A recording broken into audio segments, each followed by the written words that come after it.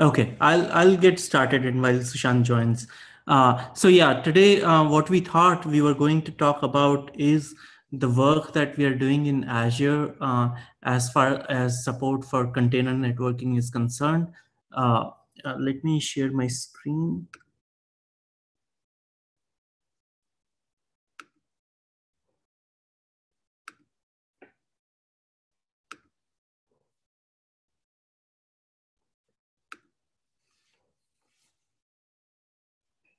Can everyone see my screen?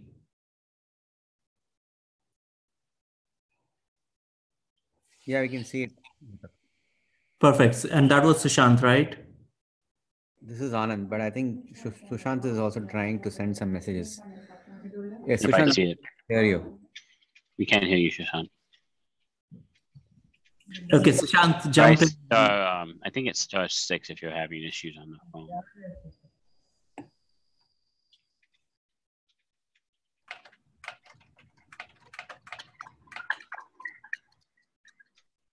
Okay, let me let me start, and then as Sushant joins, he can jump in. So Sushant is is is a developer on container networking in in my team uh, in Azure networking. So uh, so he's put together these slides to update us on on the work that we are doing in container networking. Uh, so today, what we thought we will cover is is support for container network policies in uh, in Azure. Uh, uh, as you may already remember from some of the past discussions, Azure networking supports uh, uh, overlays or what we call virtual networks for containers. When you deploy Kubernetes containers uh, in Azure, they can already be deployed into Azure virtual networks, uh, get IP addresses in the private space, uh, talk among each other, as well as talk to VMs and on-premise resources through through the Azure Virtual Network stack that is already available for VMs and now for containers.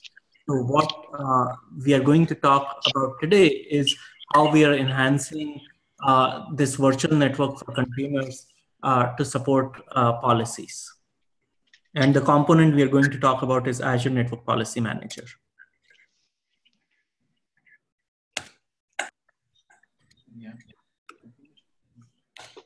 Okay, my slide is not moving forward.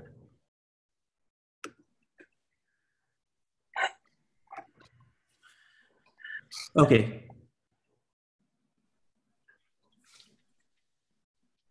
Okay, so the policy manager uh, will support Kubernetes policies natively. So essentially, uh, uh, however you specify the Kubernetes policies through YAML, uh, the policy manager will plug seamlessly into Kubernetes such that uh, we support the, the, same policy language specification uh, uh, that Kubernetes specifies.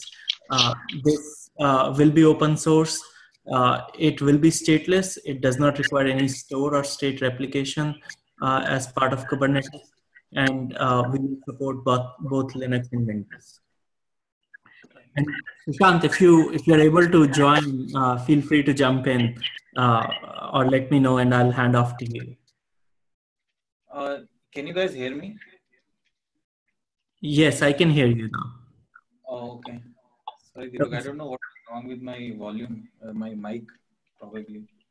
Yeah, so you can, you can continue from now on. So I covered the overview slide. Uh, why don't you you continue with the slide? Right? The slides are. Do you want me to present my screen? Or That's okay. I can I can stay in touch with with you speaking. Uh, so so next one is the architecture slide, uh, where we show uh, what type of uh, we uh, we are handling all the all the three type of events that Kubernetes sends to the policy manager. Uh, for example, wait. whenever you can't wait. Something is is wrong with PowerPoint. Just one second. I don't know why it's. I'll just stay in this. Yeah, continue. Yeah, so uh, we have event handlers basically using the, uh, so uh, so we have three type of event handlers, uh, all three that uh, Kubernetes uh, sends us events for. for example, like whenever a pod is created, updated, or deleted, um, or a namespace is created, or whenever a customer updates the policy YAML file, adds new policies in there, um, so we, we have so we have uh, event handlers for all of these events and this policy manager is implemented as a daemon set following the, the Kubernetes uh, guidelines of how to write a policy manager. And uh, basically what we use uh, is the combination of IP tables and IP set um, and uh, to implement uh, any any kind of policy specified in the in the YAML um, for Linux. And for Windows, we use something called Windows Virtual Filtering Platform. Um, you can think of it as analogous to IP tables in Linux. Um, so, so that's about the overview of uh, what we do. Uh, if you want to look at the details, uh, next slide, it, it just says what I what I just talked about. It just um, uh, basically whatever I just said. Using client Go is the is the one we use to register for the callbacks from Kubernetes. Uh, if you want to look into more details, uh, in the in the next in the next slide, uh, we have details on how how it is implemented um, as as a, as a completely stateless. So we don't save any any of the state. Uh, we rely on the the Kubernetes callbacks. So let's say the policy manager um, crashes or restarts. Uh, we when we register for the events, Kubernetes sends us uh, whatever is the current current state uh, regarding the policies in the in the node should be, and uh, we we work off of that. So how it is implemented is basically uh, in the forwarding chain of the IP table filter table. Um, we, we, where we forward all the uh, all the whatever packet comes, we process this first through the Azure npm chain, which is basically just a, uh, the chain that we create uh, so that all whatever we do is constrained within one chain. And within there, that chain we have a separate chains again for ingress and egress policies. And uh, I don't know how much detail should I go, but let, let me go further a little bit more. So, so in the in the policy YAML, um, I think it's my speaker. So in the, in the policy YAML, there are uh, you can specify policies based on uh, pod labels or uh, like namespace label, uh, namespace names. So what we do is we create an IP set for every pod label, uh, which helps us in reducing the number of IP table rules that we need to add uh, whenever a new pod uh, gets added to a certain label. We just update the IP set and none of the existing rules need to be changed. So that's one thing we use. and then um, for every uh, so in the policy YAML also the policies are based on ports like uh, like like HTTP port, TCP protocol. So port and protocol combination along with every IP set, we have one rule for that. And then we forward that. Uh, same thing for ingress and egress. For both chains, we forward those packets uh, depending on which uh, port and protocol and IP set it matches uh, to another. Uh, for ingress, we create a new chain called ingress from. And for egress, similarly, we have another change, egress. And then uh, basically we start by basically we start by rejecting by adding the reject rule uh, uh, and then we in, in uh, so the first two rules are for the ip blocks so the way ip blocks work is uh, you can specify what what ip blocks uh, to accept ex, uh, to accept packets from except you can specify some exceptions. So we start by specifying the exceptions and rest we accept. And then similarly then it goes through the namespace. So namespace selector label is also like an ip set.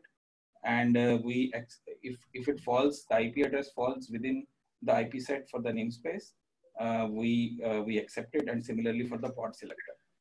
And uh, what happens is whenever we get a callback for like a new pod gets created in a certain namespace we update we keep on updating the ip sets uh, and these rules we add once whenever a new namespace comes or a new pod label comes we update the rule once. We with the group. I told them that itself. I'm sorry. Uh, did anyone say said something? Uh, so, anyways, so so these rules we uh, add once, and whenever uh, a new pod gets created, we do not change the rules. We just update the IP set, and uh, and and it's pretty uh, performant because we don't touch the IP tables again and again for creation of new pods. Um, I can also give a quick demo on uh, uh, like a quick demo that we have prepared. So Sushant, I can hand off the control to you. So I'll stop sharing. Yeah, I'll, I'll share my screen.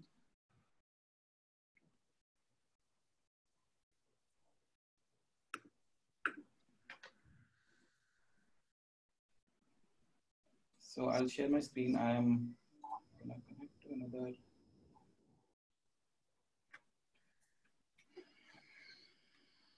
So this is, uh, uh, I'm connected to the master of uh, one of our uh, Kubernetes clusters.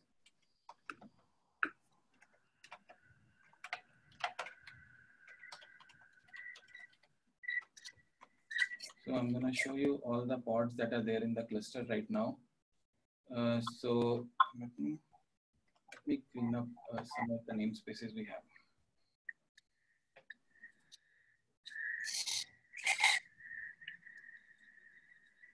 So while it is, yeah.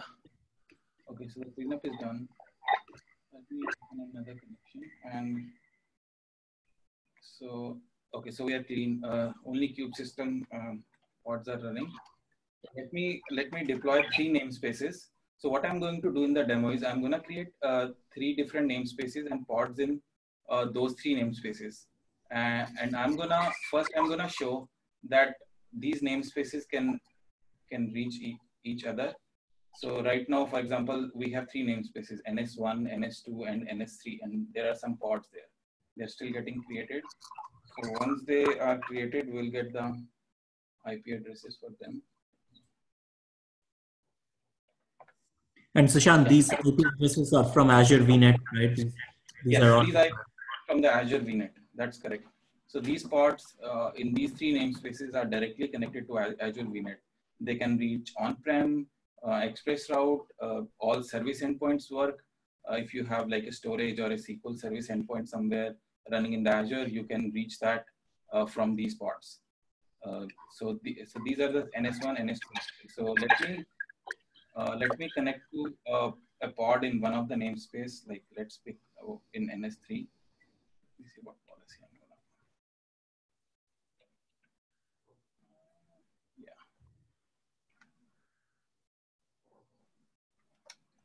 Yeah, so I have a YAML that allows from NS1 to NS3.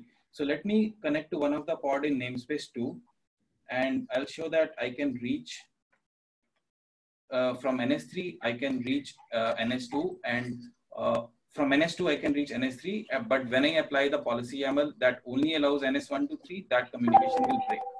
So uh, let me connect to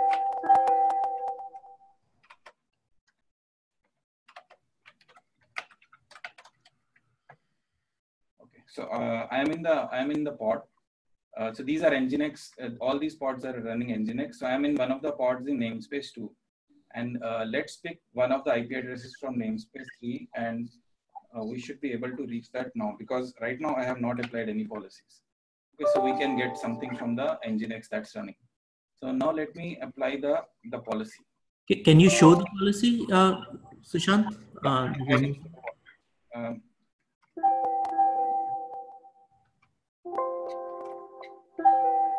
it's a very simple policy that says uh, apply it on the namespace 3. Uh, this policy needs to apply on namespace 3 and by default everything is blocked unless you specify something in that policy YAML to be allowed. And if you look at the ingress, ingress part of the policy, we can say any namespace that match labels of namespace NS1, uh, only that will be allowed. So it's it's one of the uh, we have like we support everything that Kubernetes supports, but for the demo purpose, we have a simple uh, simple one. So I'm gonna apply this uh, policy.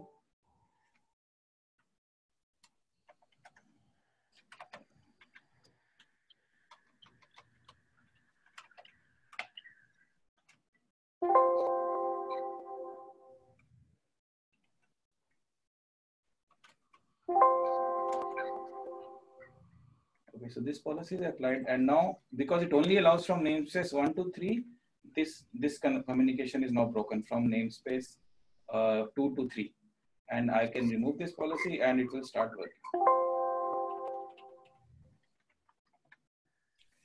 And it will start working. So I can apply again and it will stop working. See? And I can remove again and it will start working again. So it is, like I said, it's pretty performant. Uh, uh, the, the, there is almost no lag between when we apply the policies and when the data path uh, starts working on it. And we uh, support it natively in cloud. Uh, I think we are the first uh, public clouds to public cloud to actually support the Kubernetes policies natively. so, so, so that was the demo. And we were also hoping if we can uh, discuss in this forum uh, whether we can, because right now the policies, we can only have these ACLs like port and IP address based, what to block, what to not to block. Uh, but we were hoping to discuss here if, if there is enough forum on in this forum to, uh, to further enhance this to maybe include some routes uh, because those are also the policies that generally customers want in, in public cloud routing their packets via force tunneling or or some kind of more richness in the policy. So I, will let Deepak take over and and maybe he has uh, something to add to it. Yeah. So like uh, uh, like Sushant was saying, uh, in Azure VNet today for VMs, we support a wide array of policies. Uh, security groups is, is is certainly one one of it that you just saw but in addition, we also support uh, capabilities for service chaining.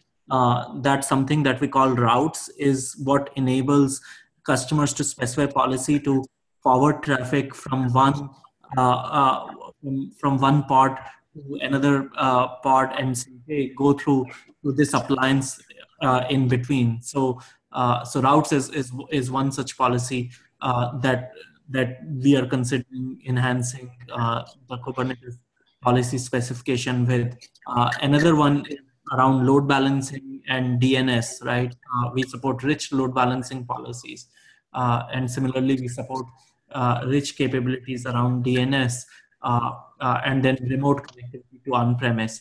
So, so, so right now, while security groups are possible, uh, uh, we would like to extend uh, the YAML specification to include policy specification for these other scenarios that are possible with virtual machines but are not possible with Kubernetes containers today. The other thing, uh, this is Anand, by the way. Uh, the, the, other thing I'd like to add to what Deepak said, I don't know how much of a policy definition uh, change in YAML will result in, but there is a lot of uh, you know value add and also providing an integrated experience where the uh, Kubernetes policies or, or you know or any container policy coexists with the uh, Azure VNet policies that we have. If we can use use labels back and forth, uh, or you know you can use tags back and forth between the two environments. Uh, that is very useful in hybrid scenarios where customers want to go from a VNet to a cluster or from a cluster to a VNet. Yeah, so I definitely, I think, um, you know, our group would definitely want to continue talking about the service chaining, the load balancing, and the DNS extension pieces for sure. Those are kind of the top three areas, along with like IPv6 is like a fourth area that we want to definitely take forward into the work group to try to define some extensions we want to suggest. Yeah, that would be great. Uh, we would love to work work with you all to to, uh, to define those. The, the last thing that was just mentioned with the um, the labels is this is this kind of going to like a custom defined label that can be you know mapped, or are you are you suggesting something different than that? Yes, so so we support two kinds of labels. One is what we call system labels, which are to identify Azure services, and another is to we support custom defined labels which customers can can put labels on, on, on any part of their, their containers or workloads.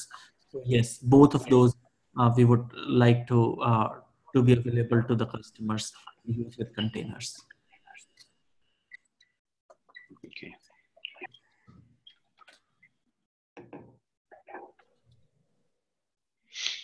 I think definitely that's those those topics would be um, then we should definitely, if you guys have like some um, something you could present, you can, you know, if you want to get together with with me, we come up with some type of like a you know definition we want to present to the work group, or if you guys have something you want to present, we should definitely entertain that in the next you know one of the next meetings coming up. Sure, sure. I think we would love to uh, give us uh, maybe uh, uh we'll probably will won't be ready for the next meeting, but the meeting after that uh, we should be ready. So uh, how about we tentatively put us down four weeks out, so next month for us to present at least an initial proposal on on routes and maybe load balancer. Okay. And I'll set up some time with you guys in the next, maybe in two weeks to kind of have some discussions, you know, just between a smaller group of us. Yeah, that would be, that would be great. I'll work with you on that, Deepak. Yes. Yes. Uh, that would be great, Ken. Uh, that would be awesome. Uh, one question I had was, uh, uh, how, as a community, how do we want to approach this uh, with respect to CNCF, uh, this working group, and uh, the network SIG group in Kubernetes, right? Do we do we expect us to take our joint work together to to Kubernetes network SIG, or do we expect the two communities to be one and same only? How, how do we see that happening? Yeah, for for the most part, we have, um, and I think this week Brian is um, is on vacation, but we usually have Brian join us from the the CNI um, contributors group. And I don't know if we have anyone on here from the, the network SIG, but we usually have one or two people from Google join representing the network SIG this meeting. So I don't know if they were able to make it today or not. Okay, yeah, yeah, we, we sort of collaborate together and um, you know whatever you know whatever we bring forward as a proposal from here, we would we'd probably present it to the TOC in the CNCF, and then from there work through um, you know through the different um, uh, whether it's a CNI request or whether it's a Kubernetes request, we would work with the appropriate groups collaboratively on that. Sounds great. Yeah, that sounds great. And then the, the last question I had for the for the Azure team is: Is there any interest in, um, you know, you said your policy manager was open source. Um, is there any interest in presenting um, all or any part of your policy manager to the CNCF? Yeah, we, we would love to. We would love to. Uh, uh, what uh, what would you like to see covered in in in that presentation? Uh, detailed architecture, um, uh, uh, or or more code level structure? we would love your guidance on, on what you would like to see presented there. Yeah, I can. I'll definitely provide that to you, and I, I think it, it's probably more along the lines of, um, you know, specifically the policy pieces and the extensions and how how we have an implementation to show kind of how that works. So kind of show the running code and an example of you know how the policy definition works. So I, we'll, we'll talk more about it offline, but yeah, I think that's that's sort of along the lines of what I was thinking. Sounds great. Sounds great. And and the main reason for us to open source is to have the community participate and contribute to it. So so certainly uh, uh, we would love to to present and get the, the community feedback and and and participation. Sure. Definitely. Awesome. I'll get you. I'll talk with Chris to get you scheduled. It'll probably be um, a month out or so given the timing on the TOC, but I'll let, we'll definitely work with you guys on when we when you can present and when they're able to fit you in. Okay, thanks. Cool. I, I don't see Alexis. Is there anybody from Weaveworks joined? Right. Well, before I jump on to the next agenda item, um, do you guys have any questions for um, for the Microsoft team? Thanks, uh, Deepak and uh, Sushant and the other individual that joined. But thanks for your um, for the presentation and the overview of, of the work you've done on the policy manager and the different policies you've been uh, working on.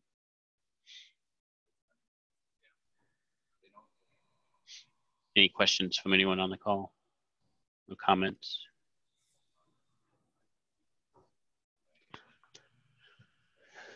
Quiet group today. Okay, no problem. um, so the um, the next piece of the agenda. Sorry, was there somebody wanted to say something? Okay. Um, so the the next agenda item was around um, part of the work group charter was um, you know looking at the the networking space and on the um, and the landscape that the, the CNCF has put together. There's quite a few companies that they've sort of and projects that they've sort of put into the network space. Um, of of those projects, I know WeaveWorks has um, presented to the TOC and is interested in becoming an official um, CNCF uh, network project. And so um, one of the things I've asked them to do is come and present to this working group, and, and I'll try to get that scheduled maybe for the next um, the next meeting. Um, but you know, part of what we want to try to do, I think, is start looking at some of the network projects out there, especially in the areas that you know we discussed previously, in you know the load balancing piece, the um, you know, think about some of the um, services that are needed in network IPv6 type of services, you know, looking at, at projects that are addressing those areas and, and reaching out to those projects to talk about what the cloud native aspects would look like in those projects. So, um, so I definitely open for anyone on this um, call to, to look at those companies and, you know, suggest ones that might be of interest um, that are filling a gap in the cloud native ecosystem today that we should talk to?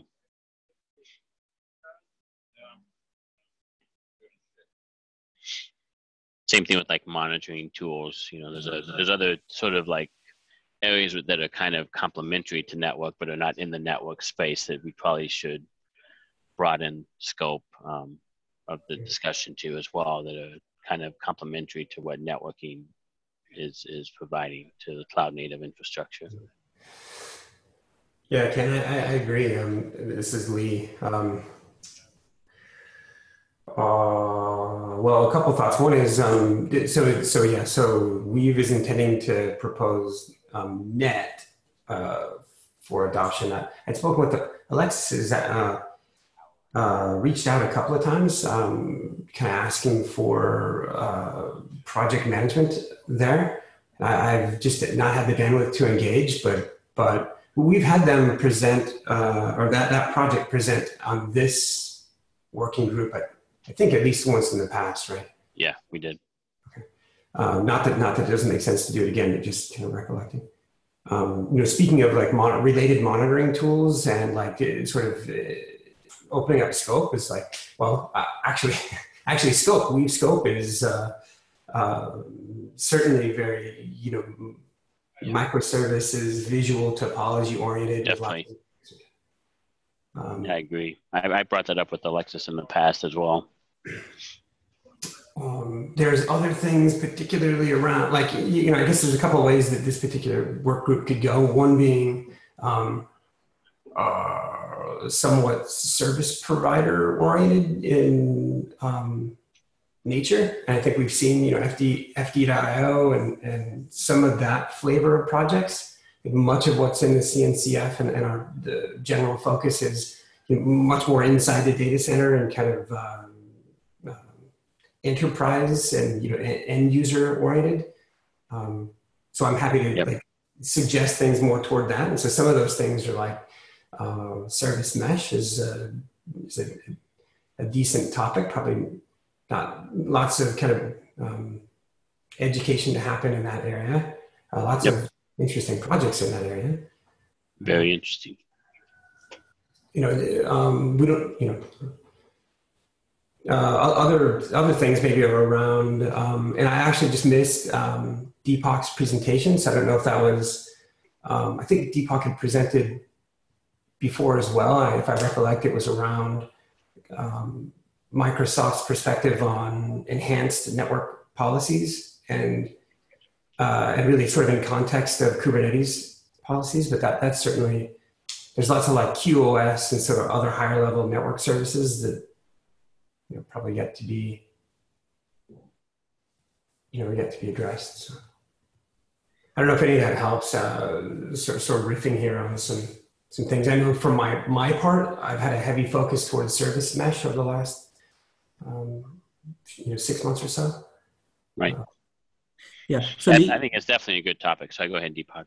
yeah, I was saying, Lee, what we presented today was more around uh, security groups and, and isolation. Um, and and before you joined Ken, and, and we talked about uh, qua- uh, talked about DNS, load balancing, IPv6 as some of the topics. I think QoS is a good one that we should add to the list as well. I agree. Yeah. Got it. Well, did you guys know the state of IPv6 uh, that that you know more or less Cisco is kind of you know thinking help trying to steward within the Kubernetes network state? Is that like is that So, sorry, what was what was your question around IP? kind of the state of uh, IPv6 support in Kubernetes? Uh, no, we haven't looked at that, but that's certainly one area that we want to look at next.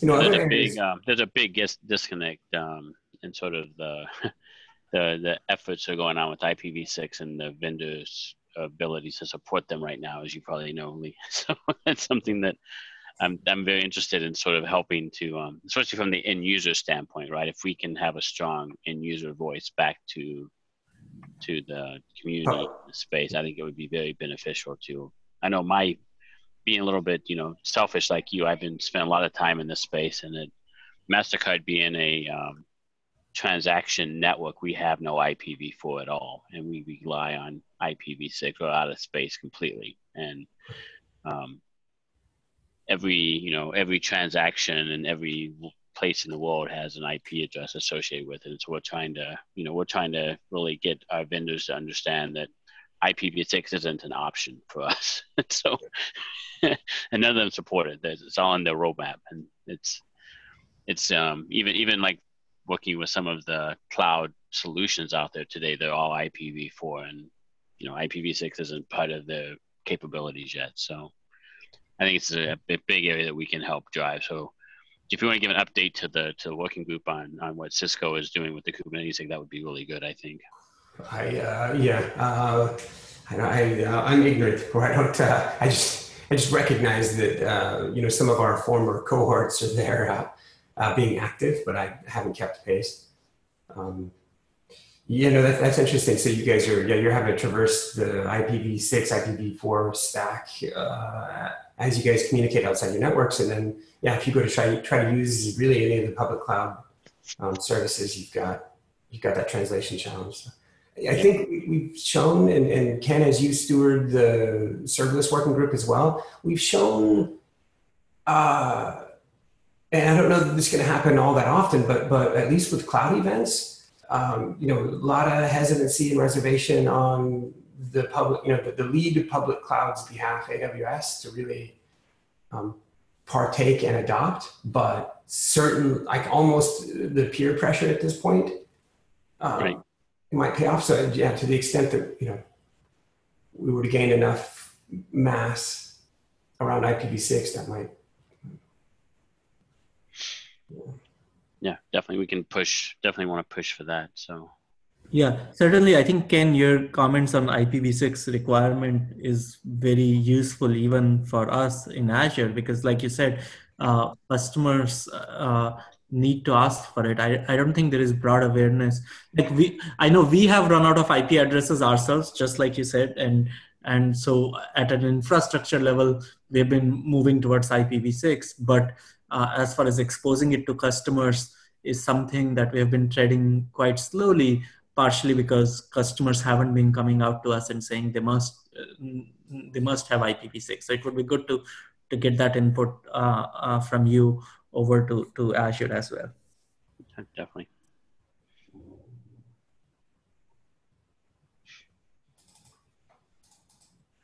So I and so I've definitely um, service mesh is one of these things I've been wanting to kind of have a discussion on. So I might see if I can align something up for for two weeks from from today for a service mesh discussion because I think it's it's very interesting. I'll start working on an IPv6 one with uh, with my friends at Cisco. See if I can get somebody from the that's driving that um, lead to join us and kind of give us a briefing on what's what's going on there.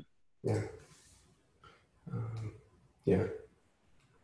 Uh, you know, yeah, yeah, we never really, we never, I, I, don't know that we necessarily ever came back to, you know, Ken, I don't know what your your appetite is in this working group to potentially take on a bit of a white paper, maybe uh, like maybe this would be more evident after we kind of have a, a service mesh discussion. But mm-hmm. lots of lots of you know, particularly with respect to API gateways, lots of overlap in uh, like on, on, paper when you read down the features list, it's like, well, these these two things do the same thing, and, and so what's the difference? So why why is it? Like anyway? There's just the, right.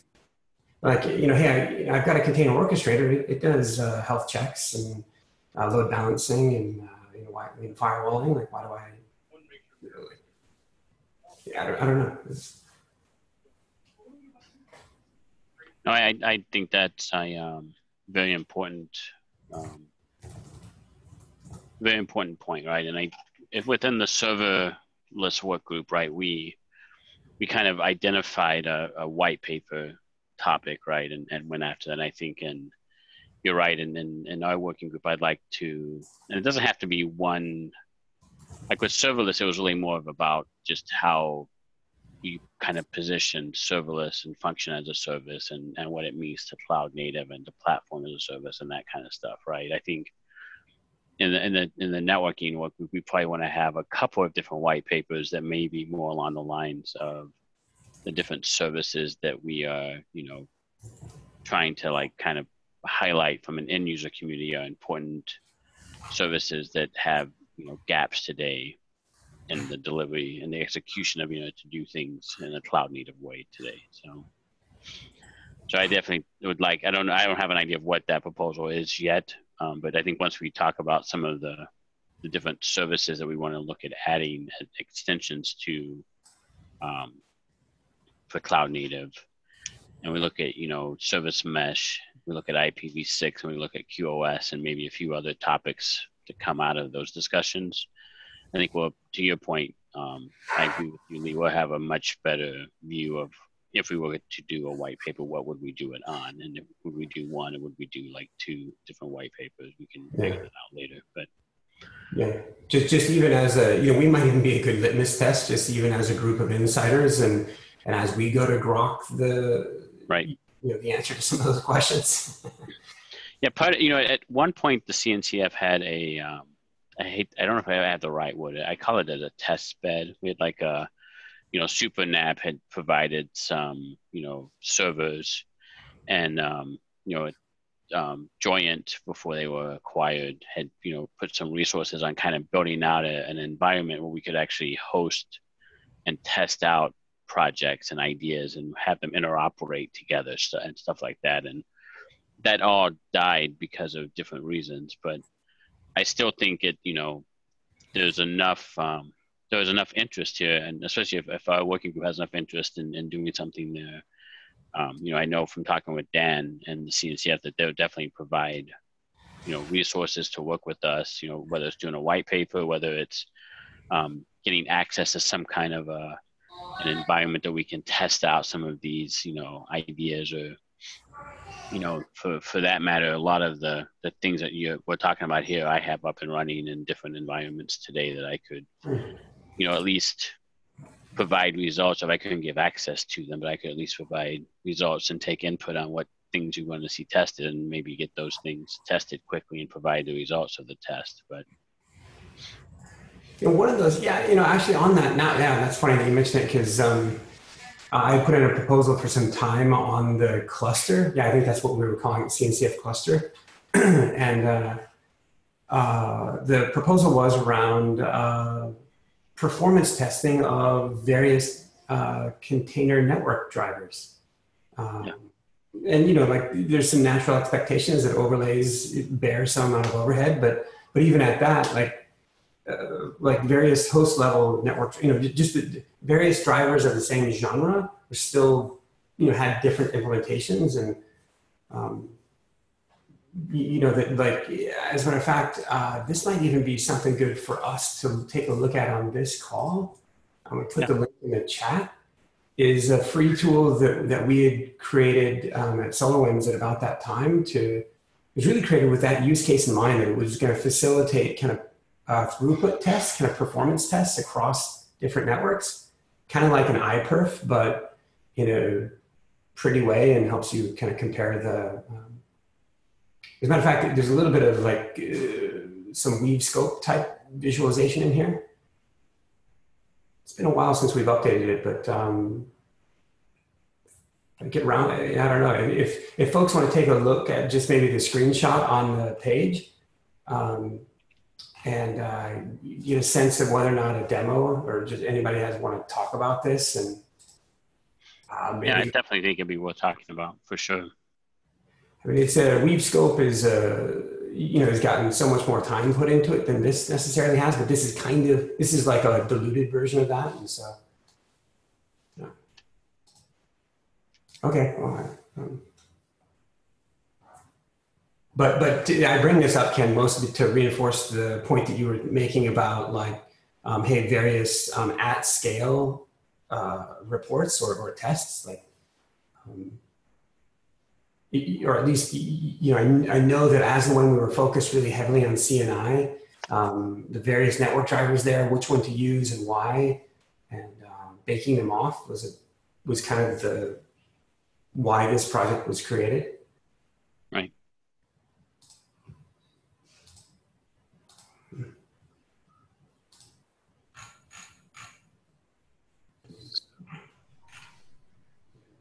I like it. We'll definitely get something scheduled to talk through this. And okay. Um, I, I do think there's, you know, work groups within the CNCF um, have have some flexibility still to kind of define what are some of the um, outcomes that we want to define, and then what sort of um, yeah. you know requests we want to take back to the CNCF in terms of having an environment for doing things or having you know a tech writer to work with us to help you know document you know a white paper for instance or um, i'm not completely clear on the whole cni integration or engagement piece yet that's something i need to kind of still work out with the toc but um, I, I, still feel like we have the ability to kind of request you know update yeah. CNI with here are some some things that we think are gaps and in the specification. They may not, you know, accept them, but I think it's still our scope to kind of define things that, that we see as missing or, or needed. Yeah, I totally. Uh, like hate to receive, you know, an update every so often, and then to, yeah, allow space for suggestion on, yeah, on, on gaps within my fill. Right, well, everyone, thank you for, for joining today. I will, um, I have a nice, I was hoping to get a nice list of topics for the next couple of months, and I, you guys have helped me successfully fill out more than enough things for us to talk about for the next few months. And so I'll get a, I'll get, I'll update the um, TOC page. I haven't updated that in a while, so I'll get that updated with these agenda items and get a schedule together and get speakers lined up to come and speak with us. And um, each meeting we'll try to have a presentation and also you know knock off some of these tactical discussions we want to have as well. So maybe 20 minutes on presentation 20 minutes on you know tactical next steps and of, of discussions like we had today and then you know leave 20 minutes for you know new topics or open items we want to discuss so. Nice. Thanks yeah. everyone. Have a great uh, great rest of your day and rest of your week all right. Cheers. See you guys. Bye, Ken.